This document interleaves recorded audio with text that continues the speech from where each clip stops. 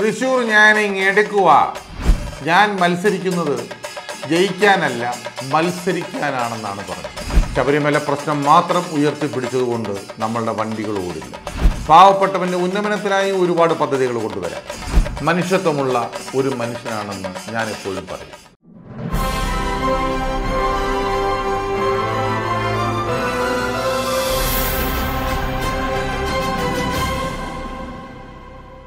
വീണ്ടും നമ്മുടെ സുരേഷ് ഗോപി തൃശ്ശൂർ ഞാൻ എടുക്കുക എന്ന് പറയാൻ തൃശ്ശൂരിലേക്ക് യാത്രയായി.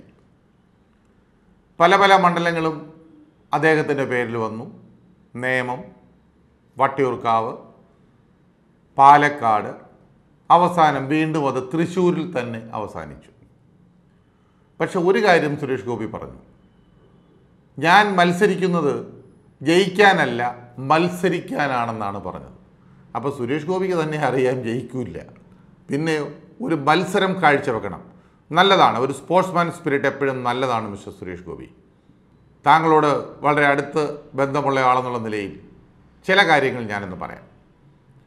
ഈ സുരേഷ് ഗോപിയെക്കുറിച്ച് പറയുമ്പോൾ നമുക്കറിയാൻ പാടില്ലാത്ത ഒരുപാട് കാര്യങ്ങളുണ്ട്.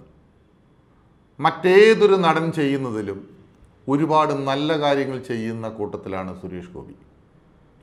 അദ്ദേഹം ഉദ്ഘാടനങ്ങൾക്കൊക്കെ പോയാൽ അതിന്റെ പണം അഗതി മന്ദിരത്തിലോ പാവപ്പെട്ടവർക്കോ കൊടുക്കാൻ വേണ്ടി അദ്ദേഹം ശ്രദ്ധിക്കുന്നു.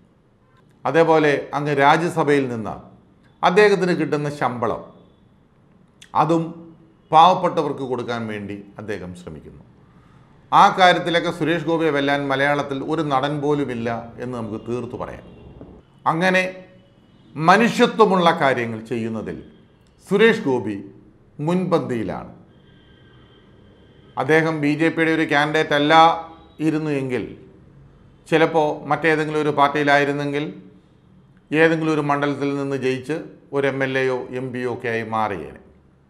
ബി ജെ പിയിലായി പോയതുകൊണ്ട് അദ്ദേഹത്തെ സംഘി എന്നൊക്കെ വിളിച്ച് കളിയാക്കുന്ന ആളുകൾ ഒരു കാര്യം മനസ്സിലാക്കണം. ബാക്കി നിൽക്കുന്ന ഏതൊരു രാഷ്ട്രീയ പാർട്ടിയിലെ ഏതൊരാളിനേക്കാളും അന്തസ്സുള്ള സഹായിക്കാൻ മനസ്ഥിതിയുള്ള ഒരു മനുഷ്യനാണ് സുരേഷ് ഗോപി. ഇപ്രാവശ്യം ഇലക്ഷൻ നിൽക്കുന്നില്ല നിൽക്കുന്നില്ല എന്ന് പല പലതവണ അദ്ദേഹം പറഞ്ഞതാണ്. അതിന് അദ്ദേഹം ഒരുപാട് പ്രയത്നിക്കുകയും ചെയ്തു നിൽക്കാതിരിക്കാൻ. പാപ്പൻ എന്നു പേരുള്ള ഒരു സിനിമയുടെ ഷൂട്ടിങ്ങിലായിരുന്നു സുരേഷ് ഗോപി. മിസ്റ്റർ ജോഷിയാണ് അത് സംവിധാനം ചെയ്യുന്നത്. അതിന്റെ ഷൂട്ടിംഗ് നിർത്തിവെച്ചു. അതുകൂടാതെ അദ്ദേഹം ന്യൂമോണിയായി ഹോസ്പിറ്റലിൽ അഡ്മിറ്റായി. അങ്ങനെ ഒരുപാട് കാര്യങ്ങളുണ്ടായിരുന്നു.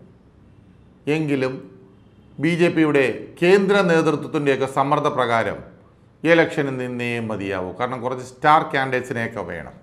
ബി ജെ പിയിൽ ഇപ്പോൾ ഒരു സ്റ്റാർ ക്യാൻഡിഡേറ്റ് എന്ന് പറയാൻ രണ്ടേ രണ്ട് പേരാണുള്ളത്. ഒന്ന് സുരേഷ് ഗോപിയും ഒന്ന് ഇ ശ്രീധരൻ പിന്നെ തിരുവനന്തപുരത്ത് നമ്മുടെ പഴയ നടൻ കൃഷ്ണകുമാറിനെയും നിർത്തിയിട്ടുണ്ട്.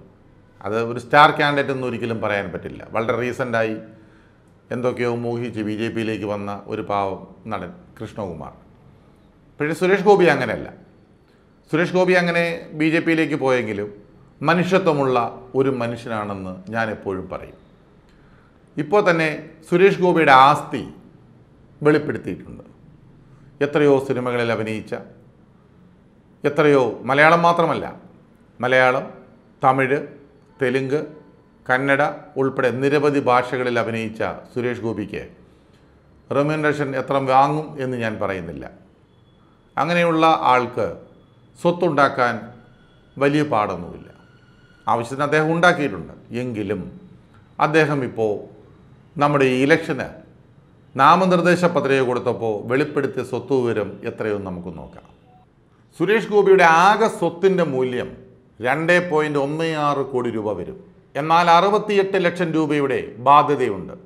തമിഴ്നാട്ടിലെ തിരുനെൽവേലിയിൽ എൺപത്തിരണ്ട് ഏക്കറും സീതാപേട്ടിൽ നാൽപ്പത് സെന്റും കൃഷിഭൂമിയുണ്ട്.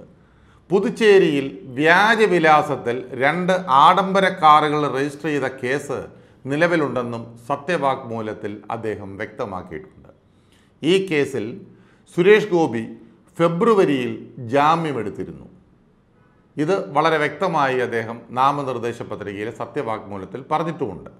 ഈ നാമനിർദ്ദേശ പത്രിക സമർപ്പിച്ചതിന് ശേഷം നടന്ന പത്രസമ്മേളനത്തിൽ സുരേഷ് ഗോപി ചില കാര്യങ്ങൾ പറഞ്ഞു. അതായത് ശബരിമലയ്ക്കായി കേന്ദ്ര സർക്കാർ നിയമനിർമ്മാണം നടത്താൻ അവരെ പ്രഷറൈസ് ചെയ്യും എന്നാണ് ഒന്ന് പറഞ്ഞത്. അതേപോലെ സീതാറാം യെച്ചൂരിയുടെ പ്രസ്താവനയെ പുച്ഛിച്ചു തള്ളുന്നു എന്നും. തൃശ്ശൂരിൽ താൻ എന്തായാലും നിൽക്കുന്നു. വിജയം സുനിശ്ചിതമാണെന്നും അദ്ദേഹം പറഞ്ഞു കഴിഞ്ഞു ഇപ്പോൾ. നേരത്തെ പറഞ്ഞത് വിജയത്തിനല്ല ഞാൻ ഒരു മത്സരത്തിനാണ് നിൽക്കുന്നതെന്നാണ് പറഞ്ഞത്. ആയിക്കോട്ടെ എന്തോ ആയിക്കോട്ടെ. ഒരു സ്ഥാനാർത്ഥിയുടെ അവകാശമാണ്. വിജയത്തിനാണോ തോൽക്കാനാണോ എന്നൊക്കെ പറയുന്നത്. ഈ സുരേഷ് ഗോപി എന്താണെങ്കിലും ഒരു കാര്യം മനസ്സിലാക്കണം.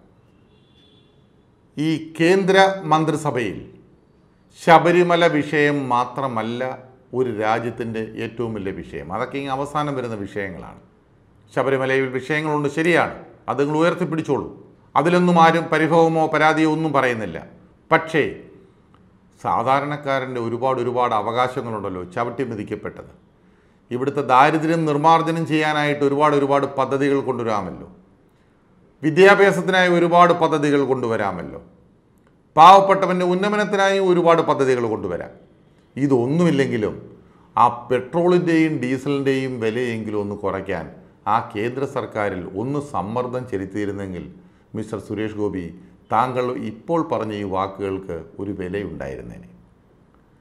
ശബരിമല പ്രശ്നം മാത്രം ഉയർത്തിപ്പിടിച്ചതുകൊണ്ട് നമ്മളുടെ വണ്ടികൾ ഓടില്ല. നമ്മുടെ വണ്ടികൾ ഓടണമെങ്കിൽ അതിൽ ഡീസലും പെട്രോളും ഒഴിക്കണം അതുകൊണ്ട് അതിന്റെ വിലയൊന്ന് കുറയ്ക്കാൻ കേന്ദ്ര സർക്കാരും സംസ്ഥാന സർക്കാരും തയ്യാറാകണം. അതുകൊണ്ട് ആ കാര്യങ്ങൾ കേന്ദ്ര സർക്കാരും സമ്മർദ്ദം ചെലുത്തിയാൽ ഞങ്ങളൊക്കെ സമ്പൂജരായി എന്ന് പറയാം മിസ്റ്റർ സുരേഷ് ഗോപി.